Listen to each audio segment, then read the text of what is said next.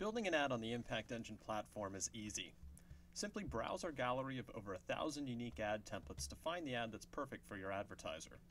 To preview any ad, you simply click on the thumbnail image, and in the pop-up window, an animated sequence will play that'll show you exactly how the ad performs.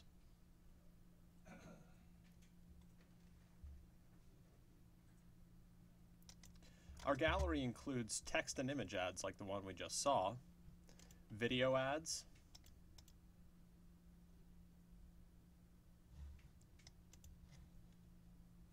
exotic sticky note ads,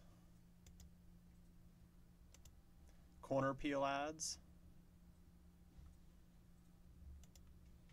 sliding billboard ads that can either push content or float on top of it, among others.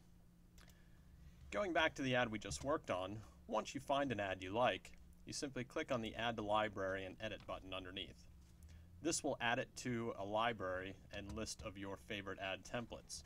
Once in your library, you can click on the Edit button underneath, which will take you into our editor for editing and updating the content. You'll notice in the ad builder, step one is for text. This breaks the ad down into all of its different text components. To edit this, simply click on the title and type in your new text.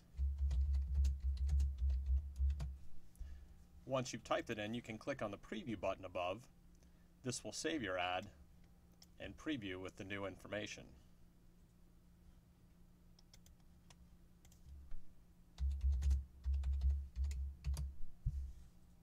Underneath each text area is a character count giving you the maximum number of recommended characters for each field.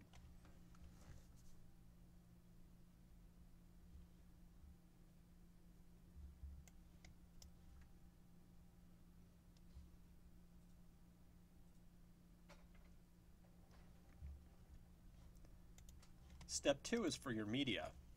On the left-hand side, you'll see listed images, videos, or SWF files depending on the type of template you've selected. This template includes only images. To the right of each image will show you the exact pixel dimensions that are ideal for this image container, in this case 300 by 250, and the formats you can upload in, in this case JPEG, PNG, or GIF. To actually change an image, we click on the thumbnail which launches a gallery into which you can add folders, rename folders, much like a Windows uh, folder system. To upload an image, simply click on the Upload tab, browse your hard drive, and upload the appropriate image. Once the image is in your gallery, you'll see it appear here in a preview window. In this case, we have an 840 by 413 pixel, and remember we're looking for a 300 by 250 you can either resize and upload in the correct uh, ad size, or we can use our image resizer, in which we can drag an area to crop and get the perfect size image for this ad.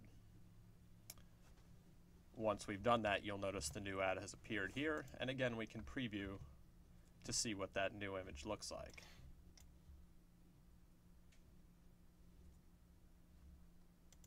Step three is for colors. Typically everything from the background color to the caption colors are configurable. You can click on the color palette, select any color you like, or type in an actual RGB hex value. Again, we'll preview this real quick to see what this looks like with uh, red text at the top. Step four is for click-through URLs. The ad may have one or more depending on the template you've selected. In this case, you can actually have a different URL for each section of the template.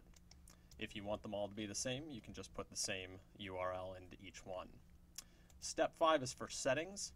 This will uh, allow you to change custom settings for everything uh, from duration of transitions to the number of times you want the ad to replay, all the way down to the total number of images you actually want to show in a particular template.